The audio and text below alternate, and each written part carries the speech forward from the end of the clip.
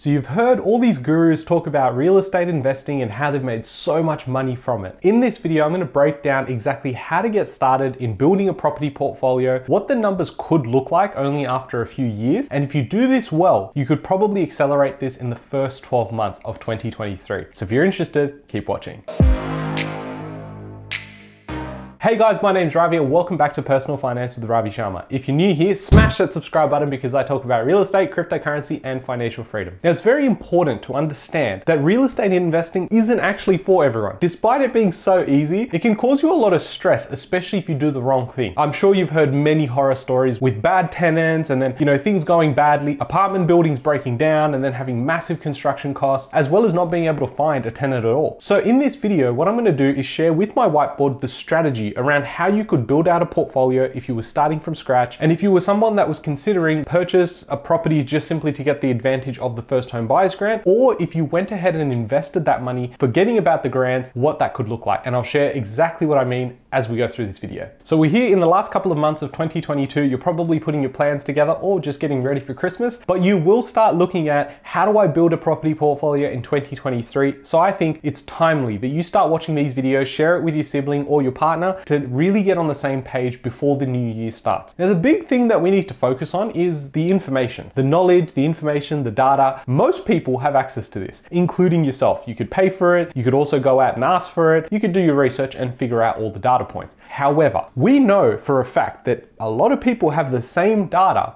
but they get very different results. Because just buying a property on its own is not simply enough for you to go out there and get the 1% life, which is financial freedom. You need someone in your corner or a group of people that are really going out and saying, well, based on our experience, we can do X, Y, and Z, which will accelerate your growth to be able to get X, Y, and Z. If you simply go and purchase your first property, what's the step after that? And I'm gonna share my example and why it's so important to be in the know-how Otherwise, you will miss on the opportunities. Now, the reason why we get such different results is because strategy makes up one part and experience is the other. If you haven't done this before, it's wise to get the right help. Now, that could be a buyer's agent, it could be the right mortgage brokers, but really figure out what are their expertise, what have they done, and don't be scared to ask the person that's in your team exactly what they have. If they shy away from answering that question, it's a warning sign in my book. Because at the end of the day, if you want to work with me, you should know what I have and why I believe I can take you to point B because point B is probably similar to where I'm already at. I'm gonna have the experience with what steps and roadblocks you're gonna have versus someone who's not actually an investor but is apparently helping you buy property. Like, how does that make sense? So when it comes to your first property, you're most likely questioning this. Do I go for the first home buyer's grant or do I just go ahead, invest and invest logically wherever the numbers make sense? Now I'm gonna share with you my story and then you can make up your own mind because as I've always said in my videos, I do not give you financial advice. I can give you property advice, we can look at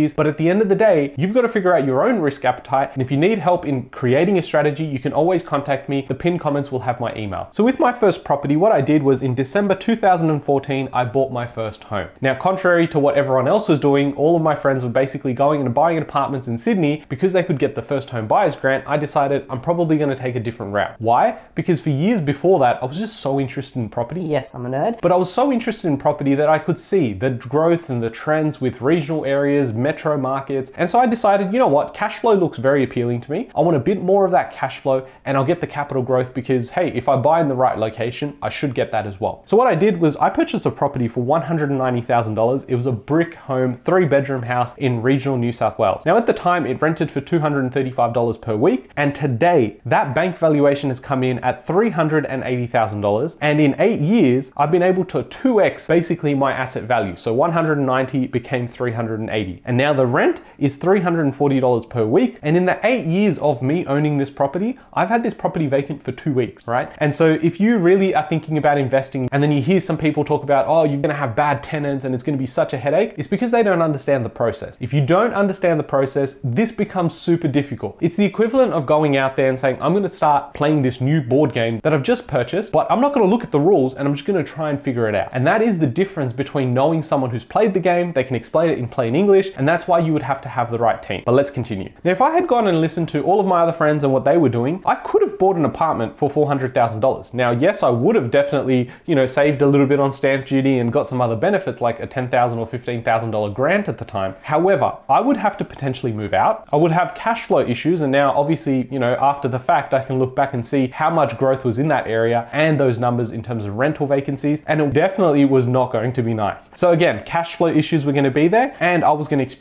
less growth. Now, again, I know these results because it's eight years later, right? And thankfully it worked out for me. But you might be on the fence sitting there saying, well, I could go down this path and I've been told all these things around, you know, this being a great area and it's going to grow long term. Well, these apartments did grow and I had a couple that I had kept on my watch list in terms of, you know, the ones I acquired back then. I've gone back to revisit what those properties would be worth today, how much they rent out for, so the juiciness is coming. Now that sort of property would be worth anywhere between 480 and 500k. So as you can see, eight years later, I've done pretty well if I had gone down that path. I would have saved on my upfront costs and I would have moved out. However, I didn't have any intentions to move out. I was only 22 and definitely couldn't take care of myself. And again, I say that with a smile on my face, but it's actually pretty depressing. But I wasn't able to take care of myself. I would still rely on my mum to cook me food and clean the house as well. So I didn't want to move. And in terms of cash flow issues, I know that area had gone through so many issues when it came to finding the right tenants. I'd always kept an eye on it just for my own learning process. I wanted to know what the alternative looked like. And in terms of the actual demand there, for rentals, it's actually reduced. And why? Is because that property that I would have purchased was a little dated. That's not the concern. The concern was that there was so much incoming supply of units that I actually didn't know. Now, a lot of people are making this mistake even today. They get thrown around all these buzzwords around how it's such a good area, it's going to be amazing because it's close to train stations, but there's so much more to that. And the biggest factor in this was that I would have had to have more upfront cash for the one property. So all of my savings would have gone into this one property and all of my risk is concentrated on this one property. Eight years later, yes, I've made a gain, but let's look at what the alternative was. Because only two months later, I was actually able to purchase in 2015 a three bedroom brick home in regional New South Wales for $255,000 and it rented for $275 per week. So again, I didn't just decide automatically that I was gonna go buy another property. What I did was I realized that I could go down the path of buying one apartment in Sydney and it's gonna be amazing and get the grants, but instead I decided let me go buy two properties in two different locations in regional New South Wales. Now, looking back at this, it was two properties in regional New South Wales. Now, although these are like four to five hours away from each other, I should have gone and diversified my risk even further by looking interstate. But again, what did I know? I was 22 year old Ravi. Now, that property in today's market, the bank valuation is come in at $465,000 and it currently rents for $410 per week. So with my first and second property, which I purchased for 190 and 255, it was a total outlay of $445,000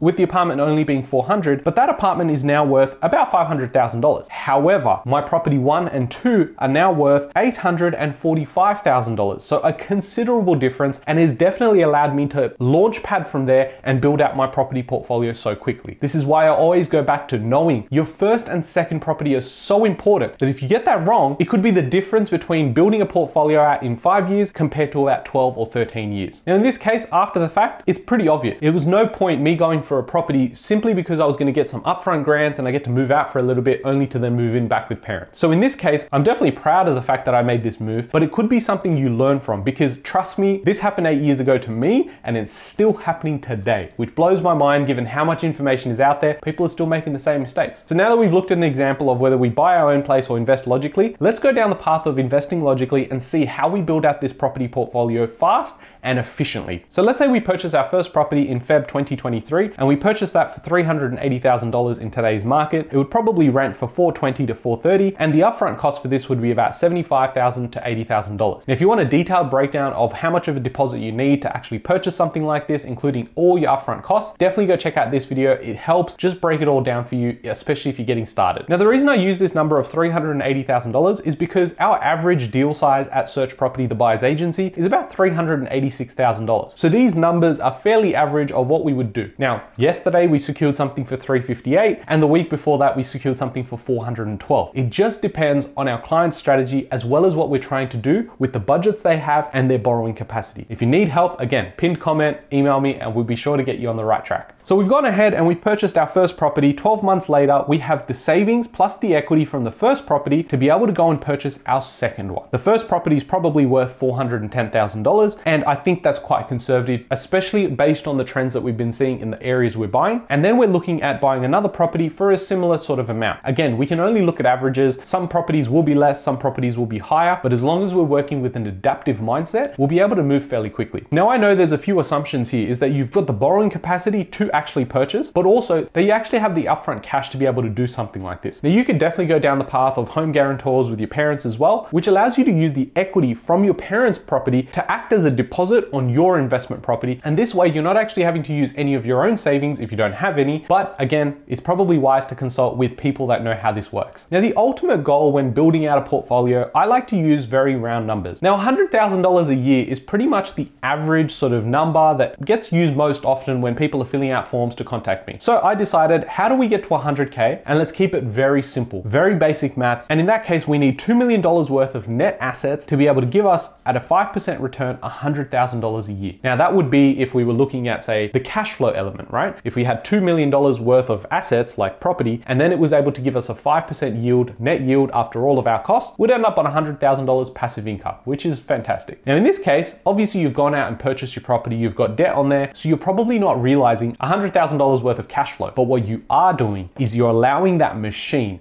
to grow at 5%. Because conservatively, if we look at property and we look at historical data, it's outperformed 5% every single year. But in this case, if we use the 5% number, that means we would be having $100,000 worth of equity compounding every single year. And the best part is it would be tax free because the machine keeps on growing and at 5% every year for 20 years, it would be worth $5.3 million. So the $2 million worth of assets that you own would now be worth 5.3 million. And that would be in 20 years. Now, there are so many strategies I can cover off, so many tactics as to how you can reduce your debt quickly. You can definitely go check out this video where I've gone ahead, broken down some real good tactics of how to reduce your debt. But what you're looking at doing is saying, how do I use the bank's money to be able to purchase property and then have the tenants pay off my debt? That is effectively the whole game with real estate investing. And a couple of key points I have here is look at fundamentals. Don't just go for the nice looking property that looks great with artist impressions because it's an off the plan property. Look at the fundamentals. Is there demand in this area? Is there incoming supply? And if there is, how much of that can be absorbed by the current market and the future population as well? If this is not making sense and you don't know where to start, you would need to have the right team with you. And that is why you only focus on logical buying. As I've said in videos before, logic and emotions need to stay very far away when investing in real estate. Treat it like a business. And if you can, you will get amazing results. But again, if this is your first time, you can't help but have those emotions kick in. Most of our clients that come to us are purchasing their first property with the intention to go, hey, I'd like to build a property portfolio in like five years. They tend to go from one property to about three or four within the first 18 months. I hope you guys have enjoyed this video and understood a little bit more around my own story when I had to face a similar dilemma. Although a different time, the principles still apply even today. If you guys have, smash that like button, subscribe if you haven't already, and share this with your partner or with your sibling that you want to get started, get started today. If you're interested in more content, definitely subscribe and I'll catch you guys in the next one. Thanks guys.